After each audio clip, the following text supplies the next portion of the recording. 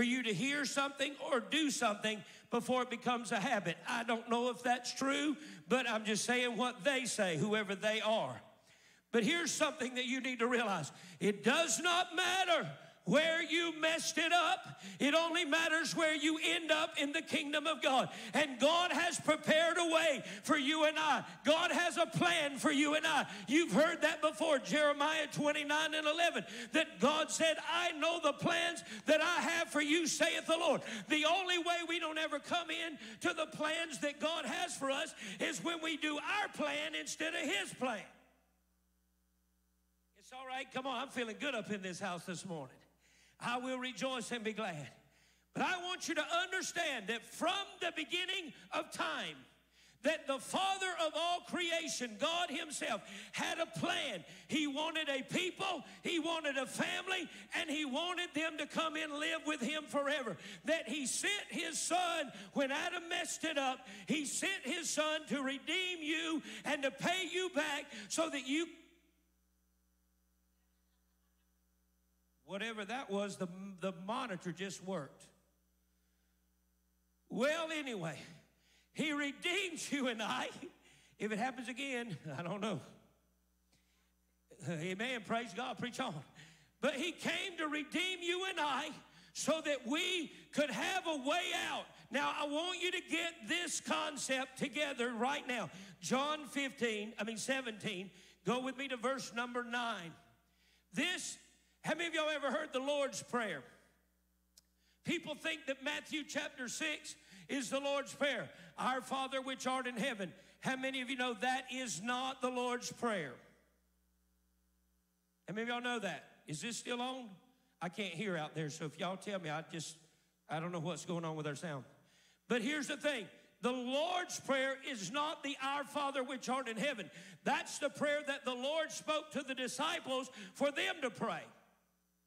So, if we really wanted to call it what it is, it would be the disciples' prayer that the Lord said, pray in this manner. But when you come to the Lord's Prayer, the Lord's Prayer is in John chapter 17. And in John chapter 17, beginning in verse 9, you hear the first two words is Jesus speaking in words of red, and he says this I pray. If Jesus prayed, what makes you think you're not going to have to pray?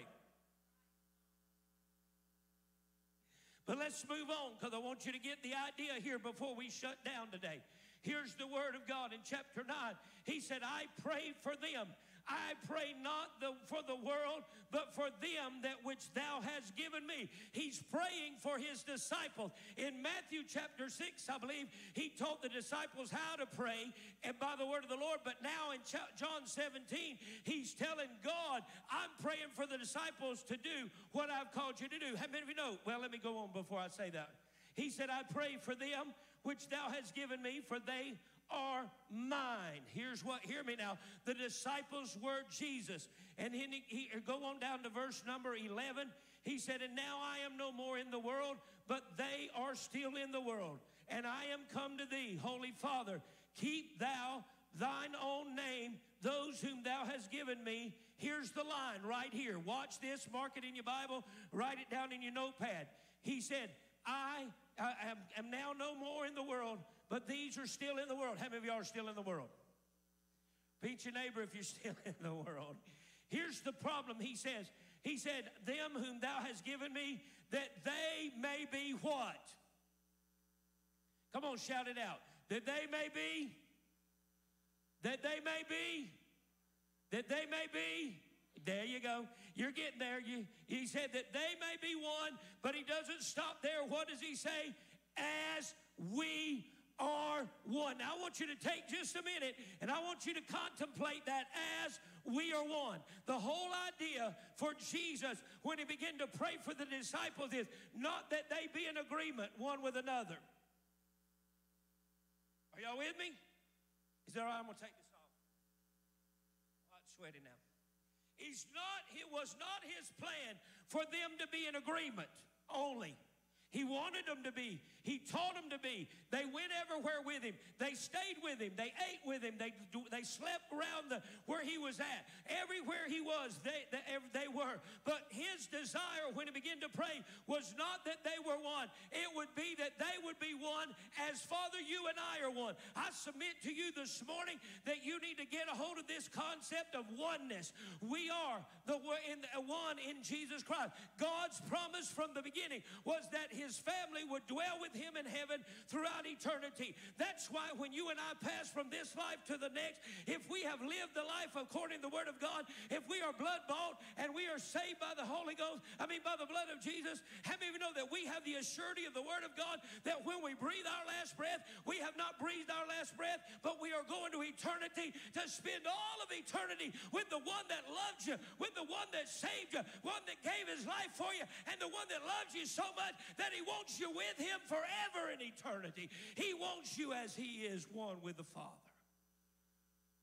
So, from the beginning of Genesis, the concept of oneness was issued when Adam came. But yet, as Adam fell, Jesus fulfilled that role the second time. And he became the second, as we refer to, the second Adam. But this Adam would not fail. He would succeed in being what God called him to be on the earth. You and I need to realize that God wants us to be one with him as Jesus was one with him. How did that happen? How was that? What was that about? How did that look like? In the garden that Jesus is praying, and the Bible said that his blood became as sweat. I mean, his sweat became his blood, they say. But what did Jesus pray in the garden? Father, if there be any way, let this cup pass from me. But nevertheless, thy will be done. It's not about your will. It's not about my will. It's not about what I want and you want. It's about what does God want. And I'm here to tell you that God wants his people on the earth to rise up and be his representative and to live the life of God that he's called for us to be no matter what everybody else thinks and no matter what it looks like to everybody else. You and I are called to live a different way. If you thought you got saved so you can live just like you used to live, you didn't get saved.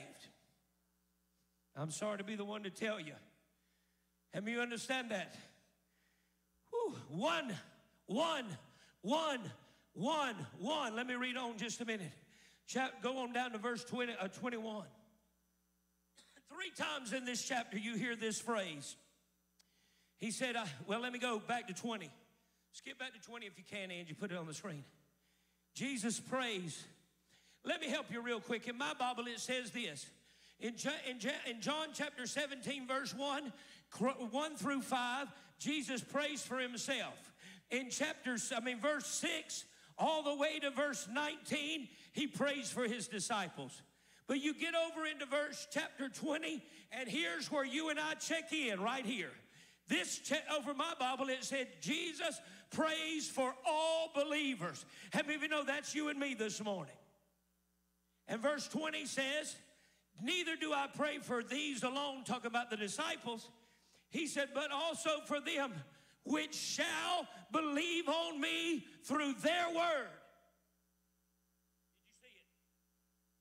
I'm not praying for the disciples only that I just finished praying for.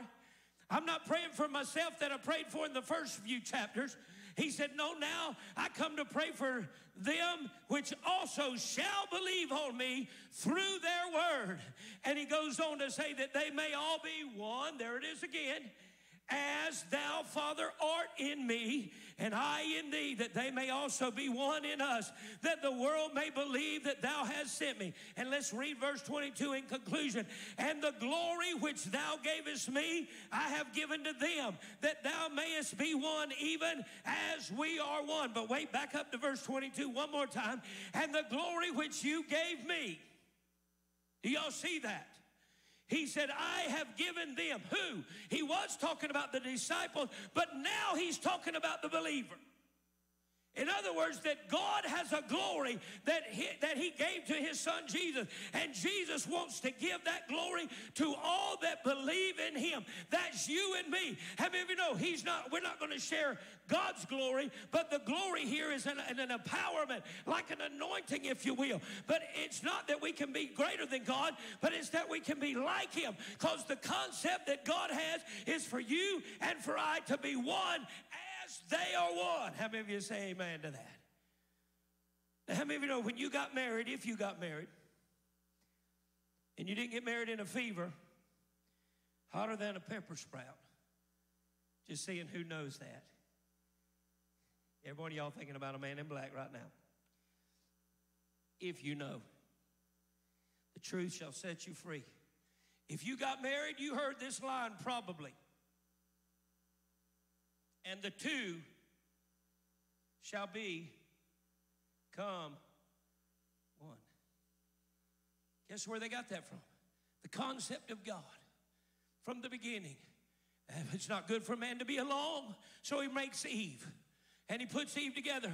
Then he goes and he goes, he establishes I'm sorry to say it. I know we're not on Facebook Live right now. Maybe we are. I don't know. Angie's back there now.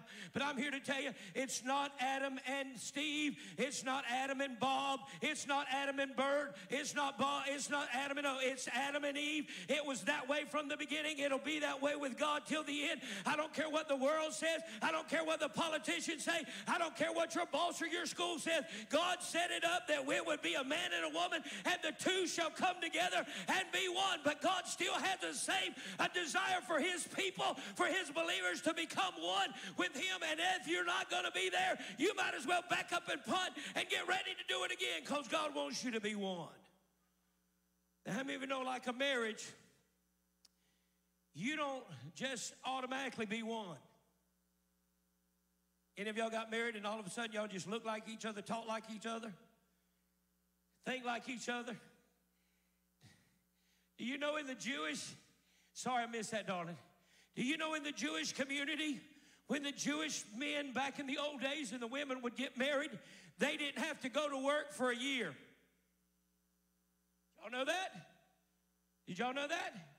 In the Jew, I don't know if it's still carried on today, but when the weddings were set up in the old Jewish days, there was dowry given for the for the for the for the wife.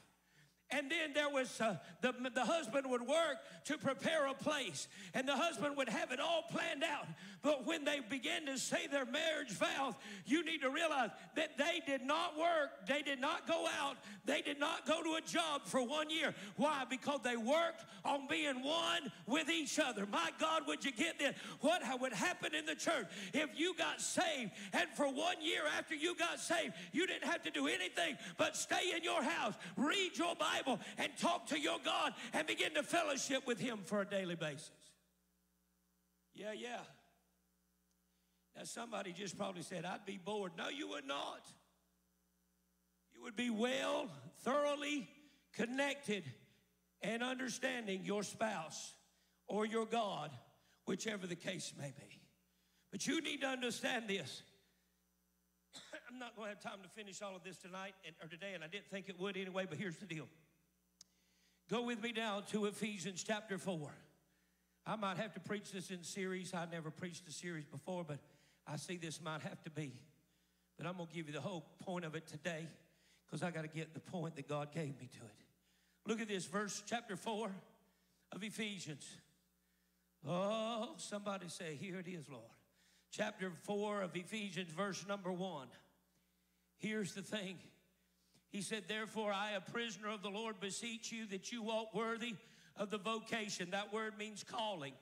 The vocation. That word does not mean the job. That word means the calling, the anointing, the gifting, the, the calling. He said, I to beseech you that you walk worthy of the calling where wherewith you are called, with all lowliness, with all meekness, with all long suffering, and for all forbearance together for one another in love, in love, in love, in love. How do we become one with the Father? We fall in love with Him. How do we become one with the Son? We realize that what He gave was out of ultimate supreme love, that He sacrificed it all. And nobody else ever done what Jesus did to set set you and I free. Ain't nobody ever going to do what Jesus did to make you free, keep you free, or set you free. Honey, I'm here to tell you, we thank God for the military that gave their life. We thank God for the men and women that have given and sacrificed so we could be free. And we see those freedoms being taken from us every day off of this crazy political myth. But I'm here to tell you this morning that God has still established it, and it will never change in His Word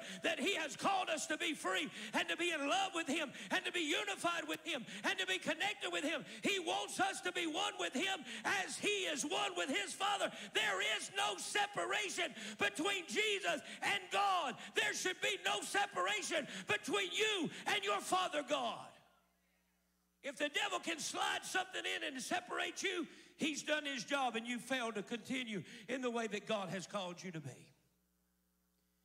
Somebody said, Well, I can't afford to pay tithes. You can't afford not to. Somebody said, I can't afford to pray. You can't afford not to. Somebody said, I can't afford to go to church. You can't afford not to. Come on, somebody. He said that we need to walk together. Look at this forbearing one another. Verse 2 with all lowliness, all meekness, all long suffering, all long suffering, all long suffering. How many of you know you've got somebody in this house, you got somebody in your house, you got somebody at your job that you can't handle? You don't like, you can't deal with, but God has commanded you. Do you think that Jesus liked what the, what the soldiers did to him before he was crucified? Crucified? Do you think that he loved being nailed on a cross, suspended between heaven and earth, hanging there in nothing probably but his loincloth, and yet blood dripping down and all of the pain and the sorrow that's over? I don't care what it is. There's no MMA fighter or boxer that has ever had their body disfigured like Jesus had. I don't care how much face beating they endure with the boxing and the kicking. I'm here to tell you, no man has ever been marred more than Jesus was, and he did it so you and I could be one with him, and we cannot afford to let the devil come in and separate us from our Father. Y'all need to go tell somebody, y'all missed it today. And I'm not even halfway through with my third, so I ain't even got to my second, third point yet. He said, Look, and here's the thing. That's why I said a while ago, you need to tell the devil, Nana, Nana, devil. Amen. Can't touch this. No, no, no, no. You know. I dated myself, didn't I? Here's the thing what separated Jesus from the Father? Nothing. Nothing. Nothing.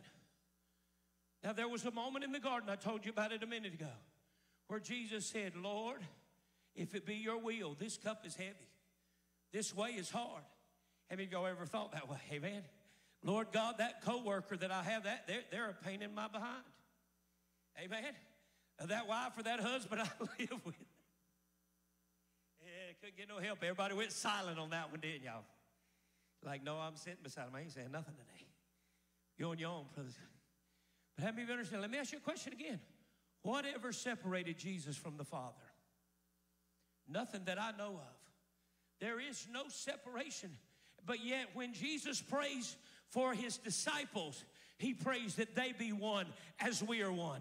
When he prays for his believers, that's you and I, and all of those that will follow. That's also your kids and your grandkids. That's also your mom and your dad and your grandma and your grandma if they're still living. Why? Jesus created this thing with the term of oneness or with the idea of oneness. Hey, come on, somebody. You need to realize that that is what God had in store from the beginning, and it is God, what God wants to begin or to be from the end. Hello. One, one, one. Say it with me. One. In Jesus' name. Let me go back real quick. I wanted to get, I, I left the scripture off. And I, well, I forgot. I guess I didn't write it down. But many of you know?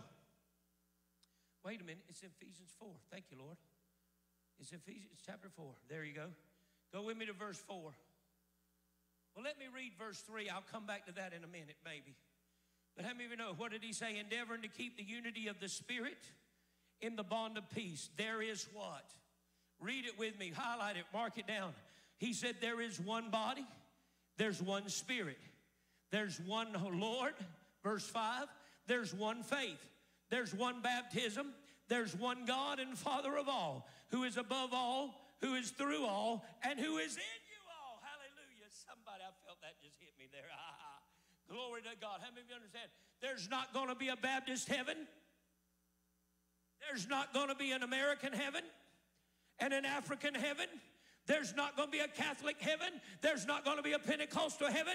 There's not going to be a black Jesus. There's not going to be a white Jesus. There's not going to be an Asian Jesus. Yes, I did say it. There's not going to be an Oriental Jesus. Have you know there is one God, there is one Lord, there is one Father. And until we all come together in the unity of faith, we're never going to get to the oneness of the, con- of the con- concept that God had. You and I need to realize that it's our job not to let anything or anyone separate us from the love of God. Yet, how many times does a doctor's diagnosis separate us? How many times does one failed relationship separate us? How many does one unanswered prayer separate us? Bless God, He didn't heal my grandmother. I prayed and she didn't get healed, and I don't even believe there is a God no more. And the devil's sitting back going, We got it. Somebody. Are y'all hearing me this morning? We are one. We want to, God wants us, Jesus prayed. God wants us to be one. There's an old, old, old song. I'm going to date myself one more time. Sung, there's an old song by a guy named Russ Taff. Said, We are my brother, you're my sister. So take me by the hand. Of y'all know that song? If you shake your head yes right now, I know how old you are. Amen. He said, Together we will work until He comes. There's no that can defeat us when we're walking side by side. To get, as long as there is love, we will stand. That's the words of the song. How many of you know football teams and baseball teams and basketball teams and whatever other team today can join together for the unity of the of the of the of the nationalities? You know, all Black Lives Matter, all this matter, and they join together arm in arm, walk out on the field and stand unified. How many of you know? Would to God that the church again become unified in the anointing of God and the things of God, that we could stand arm in arm and you yoke ourselves together and be called the one body of Christ. So you don't believe it exactly like I do. Who cares? Do you believe that there's one God? One Lord. Do you believe that Bible? Uh, let me just meddle for a minute, okay? I'm trying to check my time real quick. I got eight minutes. I was looking on Facebook last night, and there was a a pretty table runner. How many of you know what a table runner is? Fellas, what you don't may not know is that's that little piece of cloth that's about this wide and it runs across the middle of the table from one end to the other. Girls, y'all know what I'm talking about. And there was a pretty one over advertised on Facebook, and it was by it was it was it was just pretty. And I showed it to Angie. I said, I'd like to have this because it's depicted it depicted uh, Isaiah's prophecy of the, of the coming Messiah. And it was a little picture, and then it went to the next picture. How many of y'all ever been to one of them booths and you sit down with your buddy and you take picture and it spits out about four or five pictures? You know, you go to the fair or wherever to the mall. And it, well, anyway, that's what that runner looked like. It had about six pictures. And it had uh, Isaiah uh, depicted as the prophesying the Messiah. Then it had uh, uh, uh, Mary and Joseph and the birth of Jesus. Then it had the glory of God with the shepherds. And then it had the, uh, the, the wise men coming. And then it had. I can't remember, there was a couple of more. And all of them are around the tablecloth. It had the names of God, the Holy One, the Righteous One, the Healer, the Deliverer, the Savior. And it was really nice and it was put out by a company called I Am Israel. I don't know if you, IamIsrael.com.org, I don't know. I'm not advertising it. But what got me the most was that people began to argue on the internet about whether it was a legitimate thing of God or not to buy that thing. The, uh, the Jewish people were saying that, you know, we don't celebrate Christmas, and they don't, and that's fine. We know that Jesus was not born on December 25th. If you believe that, you need to do some research. He would have never been born in the cold months in the middle of an open field. He would have been born in the fall, September, October, somewhere. But nonetheless, instead of coming together and saying, Wow, that's a beautiful picture of artwork that would look good on my table, there were people that got on that thing and wanted to discuss doctrine. And all the time I'm reading and I'm showing it to Angie, and I said, Look at this mess. Listen at this mess. And I know there's a place for argument or debate, if you will, or discussion. But honey, you and I need to realize God wants us to come together, not fall apart. He wants us to unite, not pull us down. He wants us to build up, not tear down. We are called to be one in the name of Jesus. Some of y'all need to just go home and kiss your husband or your wife and say, I just love you so much. I want to be just to be close to you, girl. Y'all remember that old, oh, there go I dating myself again. Here's what the Lord gave me. There's one God. There's one Lord. There's one faith. That's why I can partner with Brother Robert to see God, see his, his vision.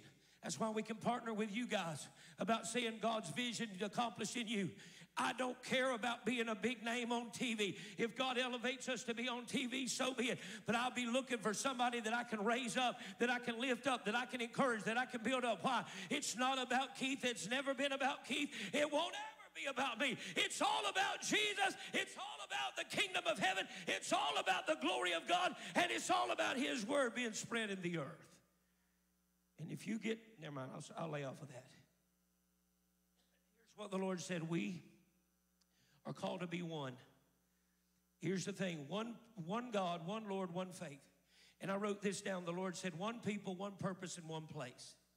And then the Lord said this this morning, He added it to it. He said, The one people is you and me. The place is here right now in Graceville. And the purpose is God's vision for His kingdom in this area. We're about you and me. It ain't about you or me, it's about you and me. Jesus said it. I pray that they be one as we are one. There is no separation of the Father and the Son. Even when Jesus had, I mean, when God had to turn his back not to look on his son because God couldn't see, look upon death. But when Jesus hung on that cross, how many of you understand he didn't go to that grave and stay there longer than three days? Because on that third day, the Son of righteousness, the King of kings and Lord of lords, came up out of that grave because the Father had endued him with new power to raise him to resurrections. Why? So that he could complete the mission and fulfill the will, so that you and I can have a way to come into the house of God today and say, Thank you, Lord, for your mercy, your love, and your grace. And thank you, Lord, that when I messed it up, you were not concerned about it. But thank you, God, that I'm becoming more like you every day. And if we're not moving closer to Him, then we have let something stop us from getting one, becoming one with Him. And here's the Bible says this. Watch this. Now be wise. You ever know the Bible said a man's foes? Anybody know the rest of it? A man's foes are of his own house. And that's why your husband and your kids can get to you quicker than anybody else. Wake up, read the scriptures, it's right there. The devil's not that smart, but he is good at being a bad devil. We say it all the time. And he knows how to slide in and put that. You know what? Matter of fact, I wish Chris was here. I didn't know this other while. I should have known it, but I didn't. The other day we were work, we were working on the well out here trying to get more water pressure. And I was going to go throw the breaker and kill the power to the breaker. You know what Chris did? Chris took a little piece of sandpaper, tore it off, and he stuck it between the contacts so they couldn't touch. And he reached over there and adjusted the thing. And I thought, well, that was pretty smart. Because I would have traiped all the way back over from the well over there, all the way back up and found the power box, flipped the breaker, walked all the way back, worked on the well, and then walked all back up there. And all the time, Chris said, hold on just a minute and he just stuck it, never left. And you know what? He didn't have to do anything but stick that piece of paper between them contacts. And here's the point, or the, the issue. When those contacts did not connect, they didn't transfer electricity, and there was no power. When the devil can slide something in between your life with your walk with God, he disconnects the power source from you, and you won't walk in power of an authority. All he has to do is slide one thing between you. All he has to do is slide one issue. Well, I've been worried about this for, and the Bible said, why do you worry? You can't change one thing about you by worrying. That's why you need to, Angie's daddy used to say it like this. Angie's daddy said, just throw your head back and laugh at the devil. when the devil attacks you, you just need to, you look crazy to the world, but they know you're a fool anyway. Paul said, if I'm going to be a fool, I'm going to be one for. I'm just waiting to see if y'all know it. Let me let me finish this. We are one. If you if it's not you, then who? If it's not now, when? If it's to be, it's up to you and me. How many of y'all know that? It's up to us. The only way we can do is, is to be more like Jesus. To be, how do I be more like Jesus? I pray, number one. I read his word, number two. How many more games of saga candy crush do you need to play?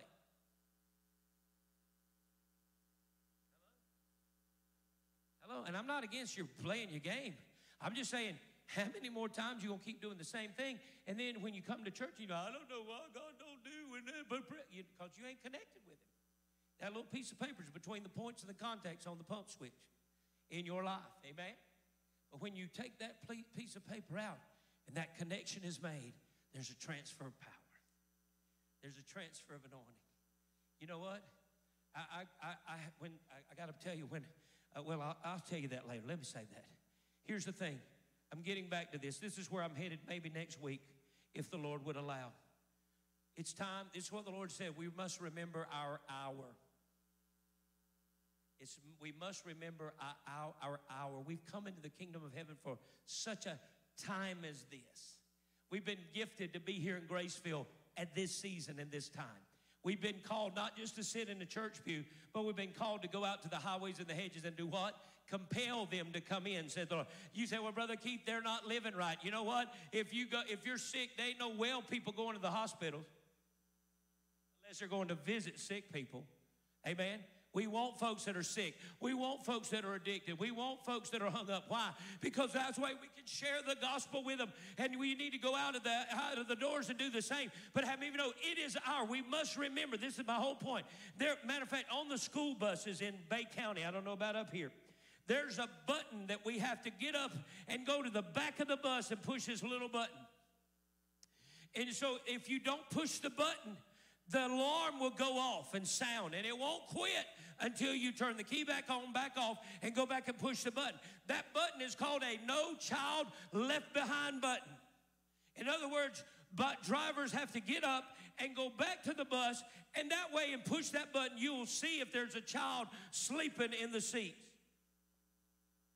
How many of you understand the military and the police have that same mindset? No man left behind, no soldier left on the battlefield. And I'm here to tell you, I've adopted that into the house of God today. Not a one of you get to be left on the devil's battlefield because I am in his this house and you are in this house and we're one with another looking out for each other. I'm not interested. You may fall and go down, but honey, you're not going to stay down. I'm not going to let you go down. If you stay connected to the house of God and you stay connected to the word of God and you stay connected to the promise of God, I'm going to be and we're going to be there to help you get up every time you fall because we're leaving nobody behind. Because Jesus said it's time for us to be one. Now, let me close this out. If the Lord will allow me, here are my three points that may come in the next few weeks. I say may because I don't know what God has. The first point today is we must be one. You may not like what I do. You may not like how I talk. I may not like what you wear. It ain't about none of that stuff. It's about that we are joined together for such a time as this for the kingdom of God's sake. We are connected, so we need to be one. The second thing, and I'll touch on it later, is we need to be united. Hello? Philippians, I mean, excuse me, Psalms, Psalms. Did you hear that? Y'all missed it, Psalms. Psalms 133 says, How good and how pleasant it is for men to dwell together in unity. For therein is the commanded blessing of the Lord. I ain't got time to preach it, but I'm going to give it to you just so you can look at it later. You need to realize when men come together in unity, according to Psalms 133, that there's not just a blessing released from heaven. No, no, no. You need to read it. There is a commanded blessing of heaven released. And when God commands a blessing, you need to realize no devil in hell is ever going to stop a commanded blessing of God. I can bless you with money. I can bless you with good comment. And my blessing, my, I could send you money in the mail. It might not get there, but honey, you need to realize when God issues a commanded blessing from heaven, there is no devil that can stop a commanded blessing. And it only comes when we walk together in unity, Psalms 133. And so the last third point I'll address later is that God calls us to be the remnant. Of y'all ever heard this before? One united remnant. And the Lord spoke to me. This we came up here Friday to wash the, the, the trailer down as best we could. And the Lord said, Don't forget our OUR. Don't forget your one united remnant. You may sit over here, and you may sit over here, and you may sit right there, but we're united in this house today. And if you ain't united with the ones in this house, you need to get saved and healed and delivered. If you don't like somebody in this house, you know, back in my neck of the woods, back when I was a kid, we'd have these church services ever so often that people on this side of the church would get under Holy Ghost conviction and they'd go over here and hug people on this side of the church and they would say, Please forgive me. I've had all against you because of this, that, and the other, and I want to make it right. And the people on this side go to them and them. And we had everybody just loving and hugging everybody. Having you understand when that kind of stuff happened, that devil can't stand it and hell every time because there is no bond like the bond of love and unity to the things of God. Uh, somebody say one, united remnant. Don't forget our hour. It is my goal, and if and I, matter of fact, I'm commissioning somebody right now. Whoever one of y'all lives on People Praise Worship Center the most, I don't care who you are on that little website. There's a couple of you I could name, I'm sure. I need everybody in this house to get a shirt size because we're going to try to produce our shirts for everybody to have in this church. Because you need to go out of this house with OUR on your, on your shirt. And on the back, it's going to say, One United Remnant. And when you get mad with your brother, you just turn around, look in the rear in the mirror of your bathroom, and read the back of your shirt and get all right with your brother. Because here's what it is. We're never going to settle, we're, not, we're never going to be successful if we don't unite. Hello? We'll never be successful if we don't unite. But when we come together, Psalms 133, look at there it is on the screen. How pleasant, how good it is for brethren to dwell together in unity. Go down and let them see. I think it's verse 6 or 5. There's only three or four seven verses, I think. Can you skip down? Uh, go three, four, five. It says, How, brother, dwell together union, for therein is the commanded. It's like the dew on the mountain. It's like the oil on Aaron's beard, the Bible says, but it's it's the commanded blessing. Y'all want a commanded? you want a commanded blessing of God? I don't want just a blessing, I want a commanded blessing. How many of y'all remember Daniel? I'm, I'm trying to quit. There, go, go down a little more. How many of y'all remember Daniel in the lion's den? And the Bible said he prayed, and 21 days later, the answer came. The answer was not denied, it was held up. Your answer is not denied, it's held up. Because the enemy's trying to make you think it ain't coming. But just like that little piece of paper in the contact, all God's got to do is remove that hindrance, and the blessings of God are going to flow. When we get together in unity, there it is. For the Lord commanded the blessing, even life evermore. Verse 3. How many of y'all see that today? Say it with me. One, united remnant. Look at your neighbor and say, You may not like me, but you united to me. Hello? You may not like me, but I, we united together. We yoked in the Holy Ghost by the blood of Jesus, and there's nothing worse that the devil would hate when we walk in unity. So this is what the Lord said. We must re- never forget our O-U-R, our. Because our our, our one united remnant is now. How many of you know what a remnant is? A remnant is what's left over. In Hebrews chapter 12 and verse 26, I'll give you this real quick and I'll quit right here. Somebody say amen. Thank God he's quit. Hebrews 12 and 26. Would you go there real, real, real, real, real quick? And I'm just going to give you my scripture, and you can read it if you want to. You can see what you can see what the sermon would have been if I'd have got to all of it. Somebody say amen to that.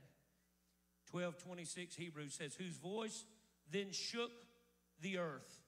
And now he hath promised, saying, Yet once more will I shake not only the earth only, but heaven. How many of you know the Bible said, For the Lord himself shall descend from heaven with a shout, with a voice of the archangel. How many of you know when God puts his foot on the Mount of Olives and he steps down to receive his own, how many of you know there's going to be a shaking? And that will be the once more shaking. But here's what the Lord says in this verse He said, Yet once more will I shake not the heavens only, but the earth.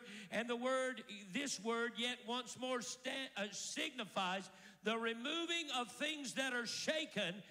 Are you with? Oh, there's a ladybug crawling on my finger. Great day in the morning. I felt something. And look at that. Yet once more, this signifying the removing of the things that are shaken, as of the things as, as of the things that are made, that those things which cannot be shaken shall remain or may remain. In other words, like the old song said, there's a whole lot of shaking going on, but God is looking for those that will stand the gap, that will stand the shaking, that will stand the thundering voice. How many of you know we are not going to do anything but remain? We're going to stand together, we're going to stand united, and we're going to remain through all the mess that the devil has to come against it. Even death itself cannot separate you from the glorious reward of heaven that God has given to you through the blood of his son Jesus. Can anybody? Say amen. Say it with me. One united remnant. Stick your hands up in the air and begin to bless the Lord in the house this morning. Hallelujah, Father God, we give you praise. Give me, let me give you one more scripture. I, was, I, I just want to give you one more. I got two or three more, but I'm going to give you one more. Go with me to 1 Corinthians 15 58. You need to write this in your Bible if you don't, if you mark in your Bible. First Corinthians. I was going to let you go, but I can't let you go without this one because it's too good. Have y'all had enough Bible today? I've given you a lot of word more than I usually do today, but it's all good for you. He can never have enough. Amen. Angie's Uncle Wendell used to say, if you get too much of the Spirit of God and not enough Word of God, you'll blow up. If you get too much Word of God and not a Spirit of not enough Spirit of God, you'll dry up. So the best thing is to have enough Word of God and Spirit of God, and you'll be level, balanced. First Corinthians, and I'm done. Chapter 15, verse number 58. Are you there? Therefore, my brethren, my beloved brethren, be you what? Does that sound like remain, remnant? Yes? Therefore, my beloved brethren, be steadfast, be unmovable. Always, what is the word? Do you know what that word means? I love it when I found this out. I didn't know it, it meant all of this, but do you know it means to excel? It means to increase. Y'all see that? It means to increase. Y'all been saying it before I ever got here. Increase on the buckets right there. It means to excel. It means to increase, and guess what it means? To remain. In other words, be steadfast, be unmovable, always remain in the work of the Lord. In other words, don't be separated from your Father. Don't be separated by the devil from your faith and your love and your connection with God, your Creator, the giver of you hear me this morning? Because if you're separated now, and the devil devours you, one day you're going to be separated for eternity. And that ain't the day you want to see come. Somebody say, always steadfast, unmovable, remaining in the work of the Lord. Stand to your feet. I'm done tonight. Today, excuse me. One, one, one. United, united, united, remnant. What the preacher preach today? One, united, remnant. What did the preacher preach today? One united remnant. See, it's on that sign right there. One united rhythm, remnant, rhythm. Did you hear that rhythm? One united remnant. You need to go home and remember this this morning. We're called to be together. You say, well, there's some of us ain't here today, but we're still together. They just didn't come today, amen? So let's bless the Lord. Would you say that? Father, I thank you for your word. God, I declare, oh, Jesus, thank you. I declare that this word goes forth to the hearers in this house this morning. Lord, I declare that one united remnant will be branded into our hearts and our minds. God, you gave it to me when I came here, and God, it's going to be evident through all the time that we are here, God. Until you come back to get us, Father God, we still desire to remain one united remnant together, God. Though we may rub elbows and not agree on everything, though we may not see it eye to eye always, God, we desire that Jesus, you prayed for us in John 17. And God, we declare that your prayers will be answered to the fullness, and we will not allow the enemy in any way, shape, or form. If we fall, God, we get back up. Your word said, if we sin, we have an advocate with the Father. And I declare that right now, God, that we can get back up. It is time to turn this thing around and see us work for the kingdom and see this thing fulfilled for the glory of God. And in the name of Jesus, right now, Father God, I feel the unction of the Holy Ghost to say, once again, I call from the north, the south, the east, and the west for the people of God to come to this house to be here to build this kingdom. I declare that divine manifestation strategies and plans be developed in the hearts and minds of your people, your servants, not just in me only, the pastor. I declare that God, our kinfolk, our children, uh, our loved ones will be saved down to a thousand generations. I declare that the lost will come in. I declare that the drug addict will be set free. I declare that everyone with an addiction all over the sound of my voice and across this area of this land will hear the voice of the Lord and say, I've come to be fulfilled and set free and released from that addiction. That, that stronghold of the enemy is broken by the blood of Jesus. I release it now and I say, No devil in hell will stop what the Word of God has to, de- declare, and that we will see the glory of God accomplished in this house forever in the name of Jesus. And I give you glory and I give you praise for it in the mighty name of Jesus. And all God's people said, Amen. Say it with me again. One. Bet you can't guess where I'm going. United. Remnant. You, this day, you're going to walk out of this house. Somebody said, What did the preacher preach? If you don't get that right, I'm going to take a gold star off of your name. I'm going to take it off. Amen. Somebody say that God is good. God gave you this word this morning, and I hope you understand his concept from the beginning was that we be one as he and, and the Father are one. Amen. So when you have a trouble this week, just remember God's on your side. Jesus is working it out for your good. Maybe it don't look like it right then, but it's going to happen. Amen. Well, I'm going to give you a chance to give real quick in the name of the Lord. Father, we ask you for your blessings on the giver in this house right now. Father, we thank you. It's not about the amount, Father God, it's about the attitude of the heart. And I declare that, God, you're giving seed to the sower, not seed to the thrower, but God, you give seed to the sower. God, we pray that we will be sowers of good seed in good ground to bring good harvest for your name's sake. Now, God, we declare, put the scriptures up there for me, Angie. We declare Luke 6:38 and Malachi 3:10. Father, that trailer that's across the way there is an evidence of the blessing of the open window of heaven. That potential van that will come, God, is an, an answer to an open window of heaven blessing. Father, favor for business deals, favor for businesses to increase and and rise up and be established, God, is a sign, a direct sign of open window of heaven. So we decree the word of the Lord in this house today. Luke 6 38 says, Give, and it shall be given unto you. Come on, help me, somebody. Give, and it shall be given unto you. Good measure, pressed down, shaken together, running over, shall men give to your bosom. For with the same measure you meet withal, it shall be measured to you again. My favorite, Malachi 3.10, bring you all the tithe into the storehouse where there may be meat in my house and prove me now herewith, saith the Lord of hosts, if I will not what? Open you the windows of heaven and pour you out a blessing that there shall not be room enough to receive it in Jesus' name. Maybe you want to take these scriptures and post them on your mirror at the house and read them every day. Amen. So I'm going to give you a chance to give this morning, if you will. Uh, come and bring your gifts of love. And as we do, as always, we say increase. Angie, can you do that? God's going to turn it around from back there. You can't, can you? got to come up here. Well, we'll just let it play. Can I play it from here? No, I can't because I disconnected the cords. Well, anyway, God's going to turn it around. Let's say increase. Bring your offerings of love this morning. Thank you for your faithfulness. I pray that you be one with God this week like He wants us to be. Amen. You're dismissed. Yes, ma'am. Go ahead.